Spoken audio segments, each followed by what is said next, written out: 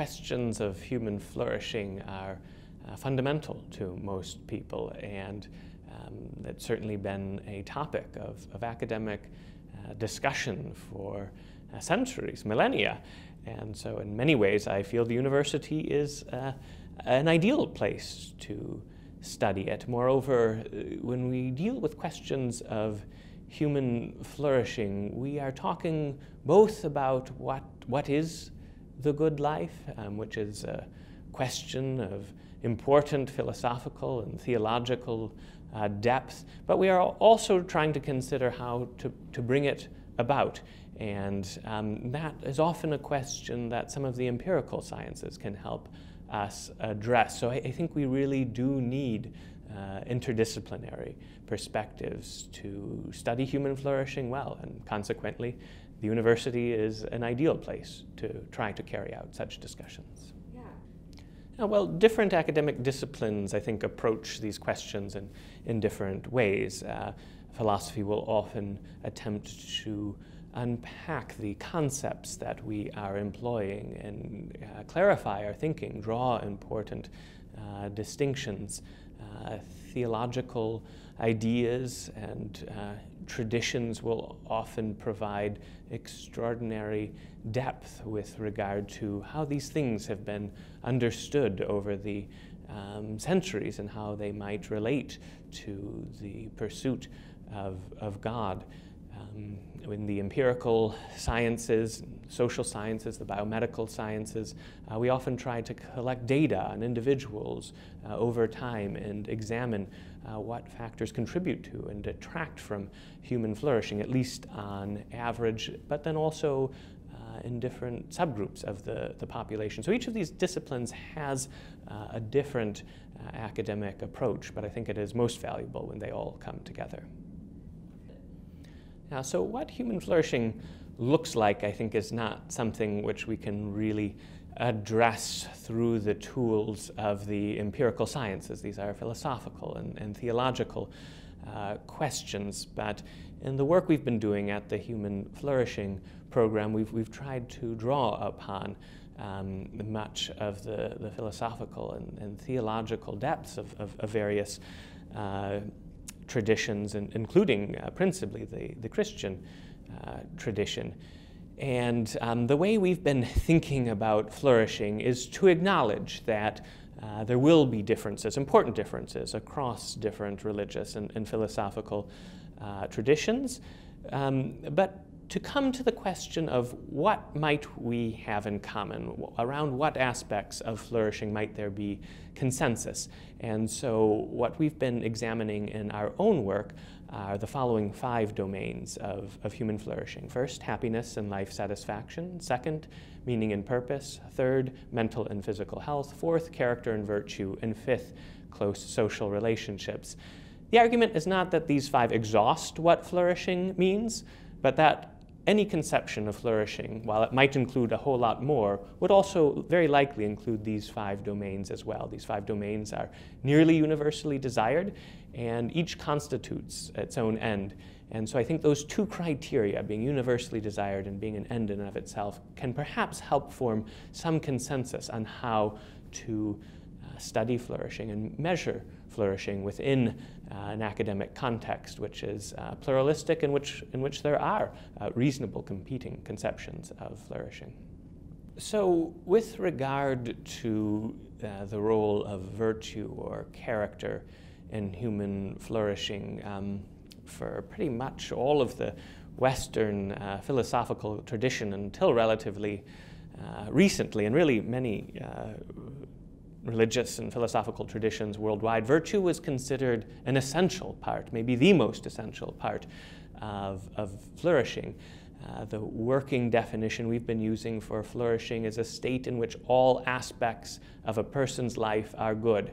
And if one's character is not good, one certainly cannot claim that all aspects of one's life are good.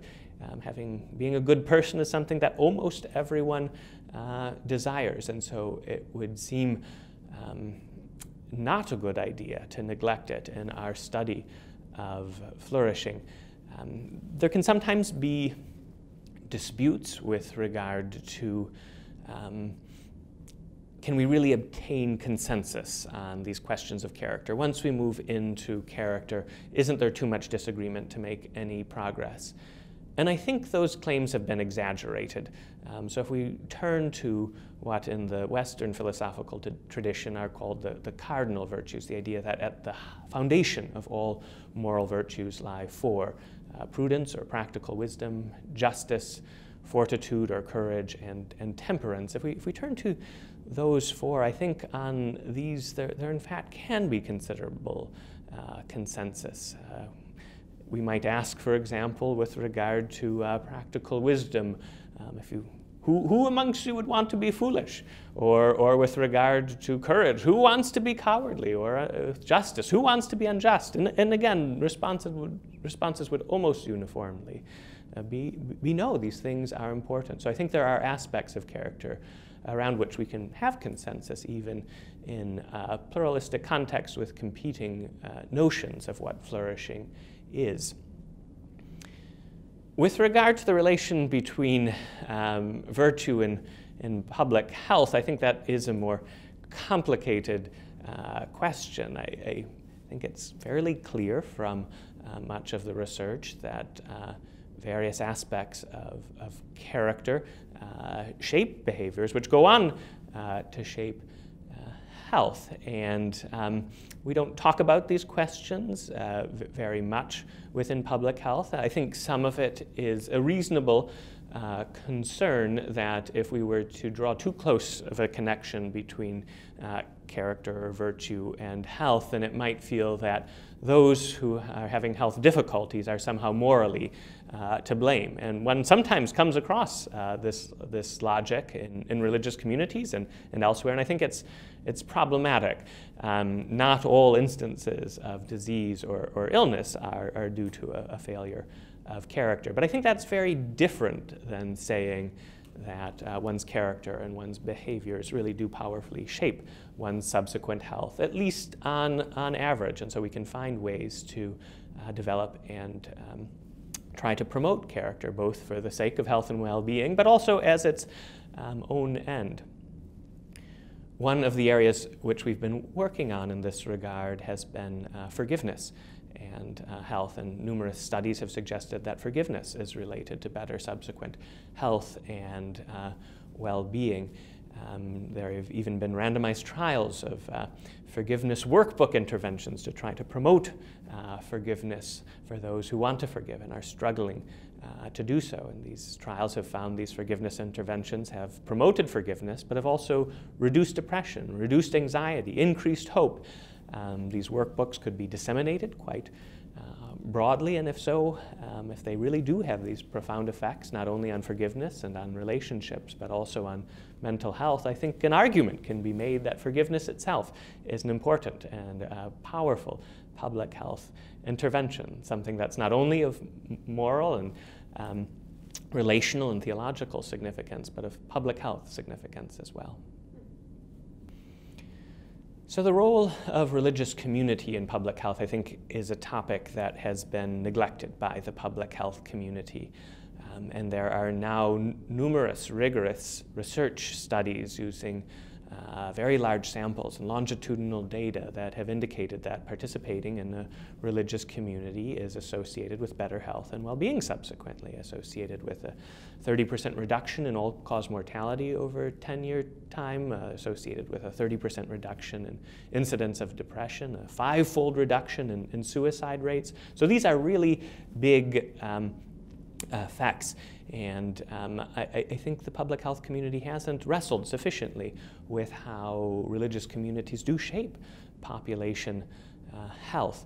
We often think of the importance of a uh, public health intervention or exposure or phenomena as a function of two things. On one hand, how common it is, and on the other hand, how large are its effects. And on these grounds, religious community is a powerful social determinant of health. It is common.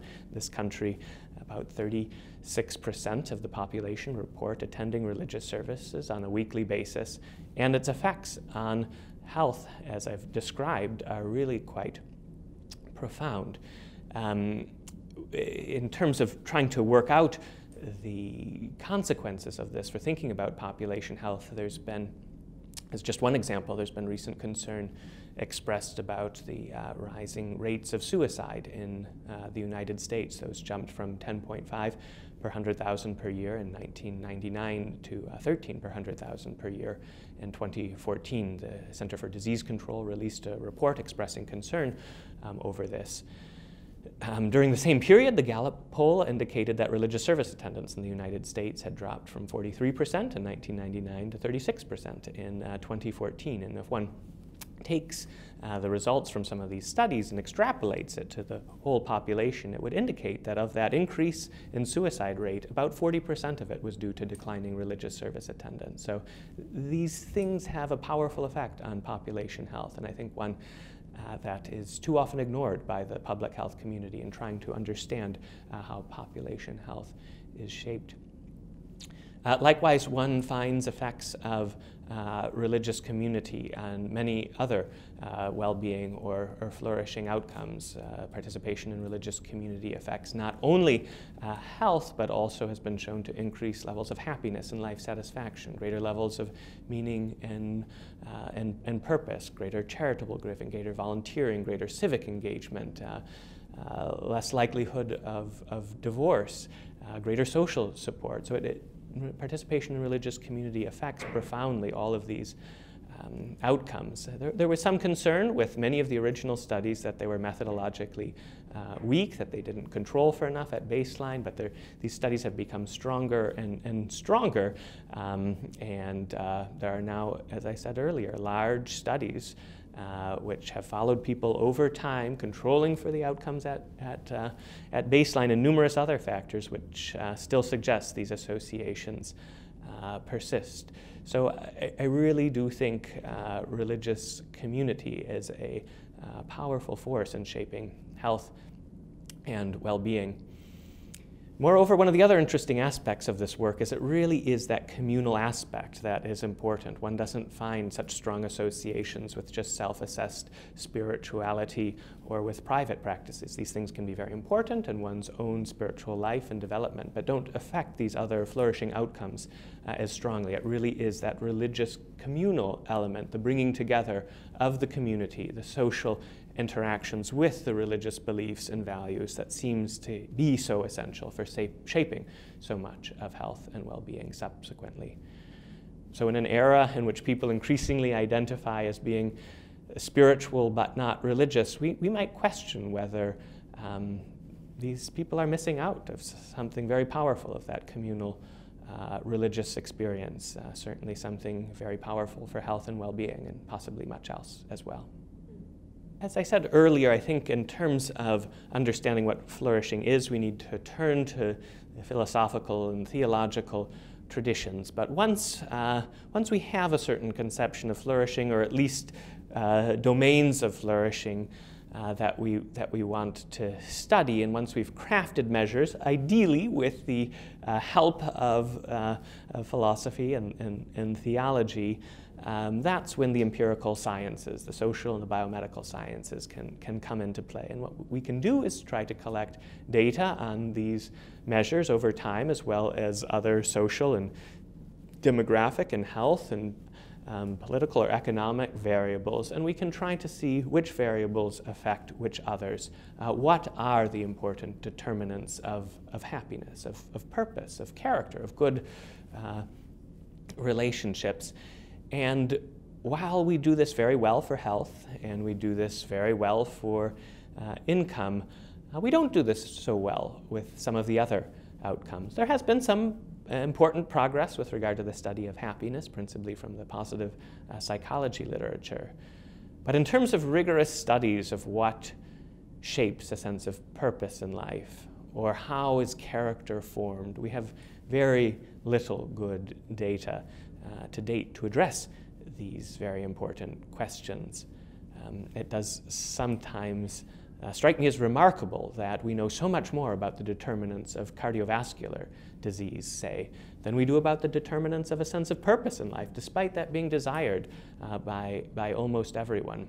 So I'm entirely in favor of trying to rigorously study cardiovascular disease, but I also think the same sorts of research efforts should be um, uh, made to, to, to, study the determinants of meaning and purpose. And that's some of what we're trying to do at the Human Flourishing Program at Harvard, to collect data over time in different settings, workplace settings, medical settings, uh, factory workers in Mexico, Sri Lanka, Cambodia, China, um, to try to understand what is shaping character, what is shaping purpose, how are good relationships formed, using the same tools that are done um, for health and for economic outcomes.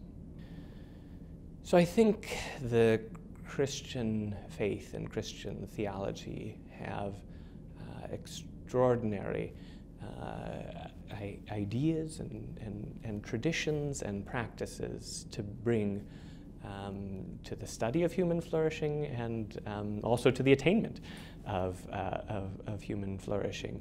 Um, I think uh, the Christian faith uh, provides a very rich and, to my mind, truthful and accurate uh, picture of the whole of reality of how um, life began, what are its origins, uh, what, what is the final end of the uh, human person. How do we make sense of suffering in this world? How can we love and help others? And I think these frameworks uh, provide that sense of meaning, that sense of purpose, which so many uh, long for. Uh, I think certainly some uh, of the ideas from the uh, Christian faith can uh, be employed more, more broadly, even uh, among those who wouldn't share a similar theological perspective. I think some of the work on forgiveness, which is quite central to Christianity, can be employed outside of the religious context to, to promote forgiveness, to promote um, goodwill towards the other, that replacing of ill will with goodwill towards the uh, uh, offender, which has been shown to powerfully shape health and well being. Um, as we discussed earlier, uh, religious community itself uh, powerfully shapes so many different aspects of, of health and well being. I think the very notion of love, so central uh, to the Christian faith. Um, Christian life is sometimes described as uh, love of God and love of neighbor. And I think um, the empirical research we have to date suggests that love itself is a powerful determinant of the trajectory of an individual's life from the love a child experiences um, from, their, from their parents to love within the marriage uh, context and how that uh, powerfully changes lives, how it powerfully contributes to well being. So I think we can um, draw upon the Christian tradition to uh, point towards important resources for flourishing. Um, but of course, the center of the Christian faith is not so much flourishing in, in this life, but uh, a final communion with, with God, and that is what uh, the tradition, Christian tradition points towards uh, through the life and death and uh, resurrection of, of Jesus Christ. And so if that is uh, one's fundamental goal, that, that, that communion uh, uh, with God through Jesus, through the church and the community, um, and I believe that that is the final end of the human person um, then of, of course the Christian faith, the Christian community is absolutely essential uh, for, for attaining that. Thank you so much. That's awesome. Thank you. Great.